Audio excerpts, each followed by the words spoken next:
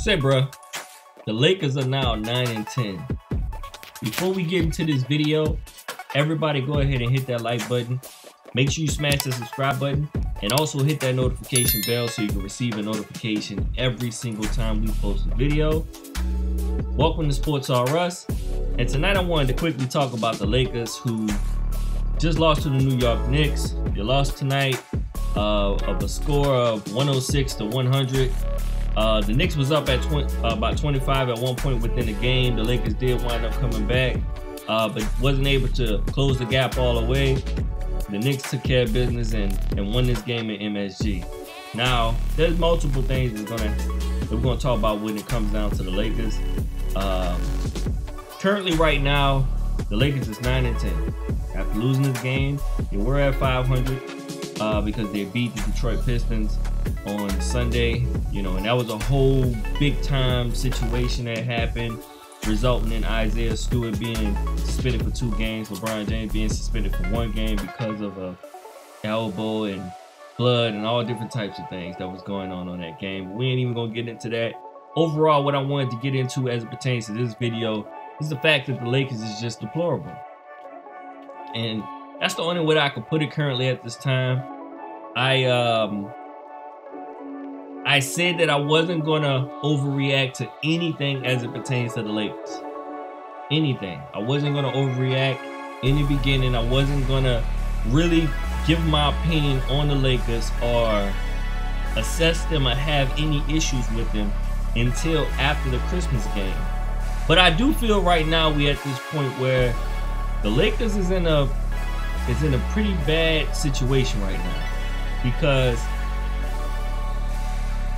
in one of the videos I spoke about the fact that you know it did take time with LeBron James figuring out new teammates and different things like that whenever he gets to a team. But I also spoke about the fact that at that time LeBron James was much more healthier and he was in the lineup much more frequent than he is right now. Now, of course, the reason for him being absent in his past game wasn't for an injury, it was for a suspension. But, you know, we're going to have games here and there where LeBron James is going to have to really take off. You know, LeBron James is not going to play 82 games this season. Already, he missed about 9 to 10 games already this season. Um, so that's out, right?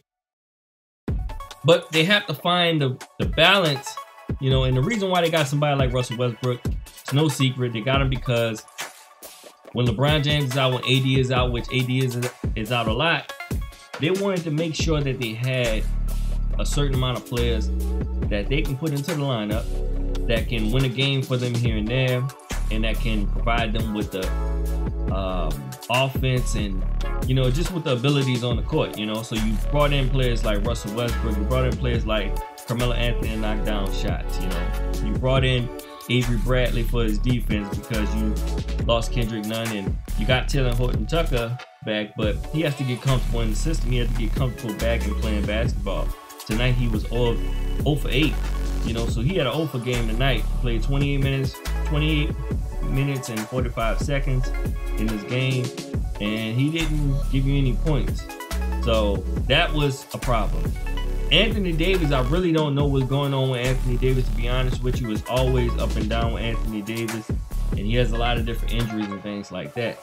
But I'm starting to think that it has nothing to do with the players. To me, I really feel that when LeBron James comes to a team,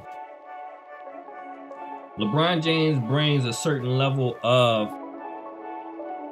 comfortability for coaches.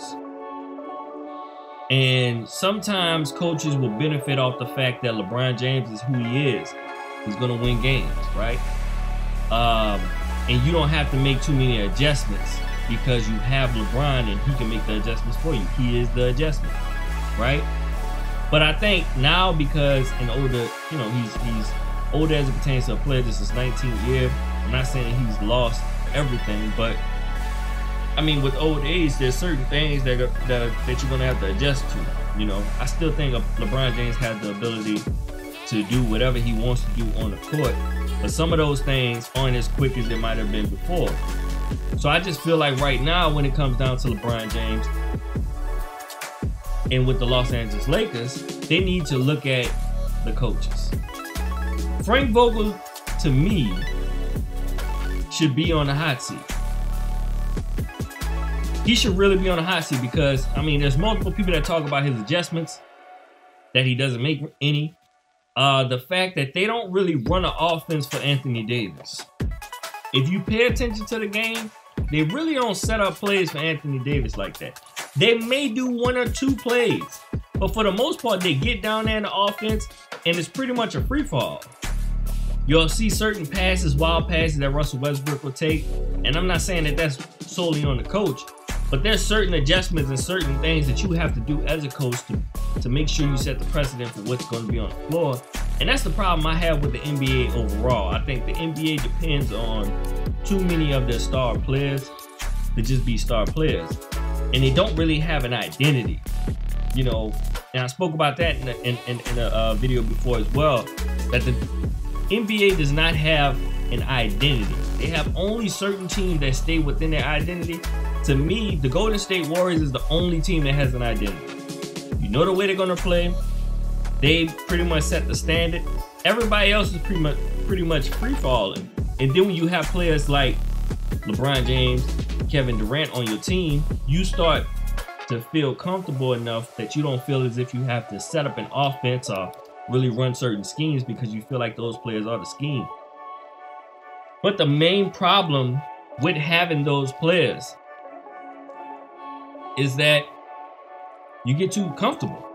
And to me, Frank Vogel is way too comfortable. He's way too comfortable in the fact that he won a championship, which you know why he won a championship, right? Um, he's way too comfortable just in that overall. And I think there need to be somebody in the background that's put him on the hot seat that's letting him know your job is not concrete. Even though we gave you that extension and all those different things like that, we'll cut you and still pay you. Because right now, what I'm seeing from this team, a lot of this has to do with adjustments. A lot of this has to do with a coach stepping up to certain players and telling them, you're not going to play like that on the floor and not being scared to tell those players, even if they are star players, that you cannot play like that on the floor. And overall, for me, I just feel that losing all the different games that you were losing because you had a spark on Sunday that wind up allowing you to win that game against Detroit. But the truth is, you were losing that game. And a lot of this just has to do with adjustments. So I just feel like Frank Vogel right now, I don't know what he has to, what he, what he needs to do or what he's gonna do, I would suggest he figure out a scheme that works out for this team. And like I said, it is gonna take time, but within that time, you still have to win some games. You only won nine games so far. I'm not saying the Lakers won't win, won't win a championship.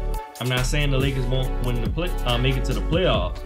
But right now, if you looked at this team and you just watch them right now, somebody that's not a fan of some players that's on this team would say that this team is not going to make it to the playoffs. They're not a good team. And they're too LeBron James leaning on, they're just literally leaning on LeBron James for anything that he can do. And in the NBA, we need to start forcing coaches to be coaches. So that's my problem when it comes down to Frank Vogel, when it comes down to the Lakers. I think he needs to figure out a scheme for this team. If not, they need to put him on a hot seat. And Frank Vogel might wind up getting put out of this uh, organization before this year is over with. So, everybody, let me know what you feel. Let me know what y'all feel down below. Everybody, go ahead and hit that like button and make sure you smash the subscribe button. Also, hit that notification bell. Let me know how you feel about Frank Vogel. Let me know what you are feeling about the Lakers currently right now. What do you think adjustments need to be made when it comes down to the Lakers? And do you agree with me? Let me know down below. This has been Sport Talk Russ. Appreciate y'all.